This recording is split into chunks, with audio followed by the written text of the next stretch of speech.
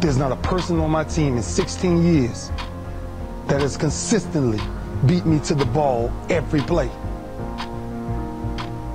That ain't got nothing to do with talent. That's just got everything to do with effort. Nothing else. 15 straight years. Leave no doubt. Start quick, finish quick. Don't even look at the scoreboard. Just play. Don't even look at it. Just play. You understand me?